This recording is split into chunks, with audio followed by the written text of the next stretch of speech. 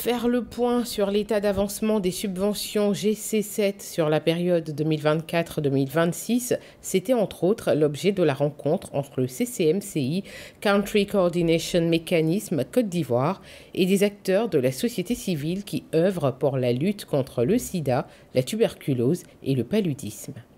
Cette rencontre qui s'est tenue le mercredi 4 octobre 2023 a permis aux deux parties de présenter les difficultés de mise en œuvre des subventions et de recueillir les attentes des acteurs de la société civile. L'objectif de, cette rencontre, c'est euh, de pouvoir, avec euh, Madame la, Présidente, dégager donc tout ce qui est perspective donc, au niveau de la société civile.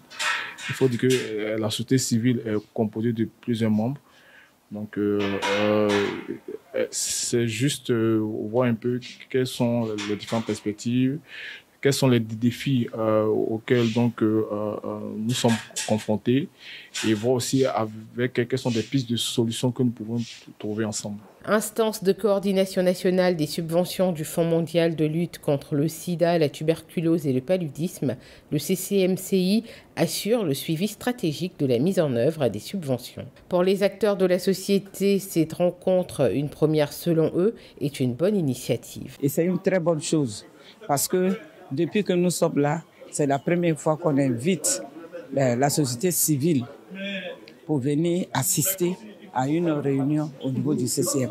Et c'est une très bonne chose.